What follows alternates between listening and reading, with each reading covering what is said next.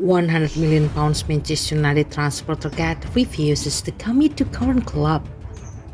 Tottenham striker Harry Kane has refused to commit his future to the club amid transfer rumors linking him with Manchester United. The England international has been a star performer for Spurs, but it seems they are at risk of losing their best player once again this summer.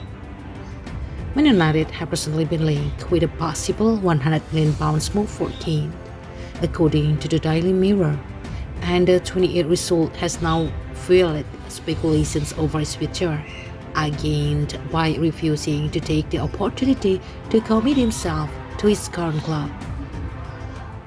Kane didn't seem keen to talk too much about what might happen to him this summer, and insists that it is all out of his control.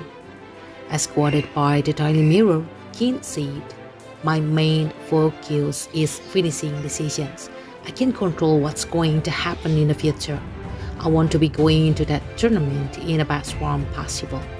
MUFC supporters will surely hope this means Kane is open to leaving Tottenham, as it could be a dream signing for them to replace veteran forward Cristiano Ronaldo. Kane will bring similar ruthlessness in front of goal to United, as well as world-class playmaking ability.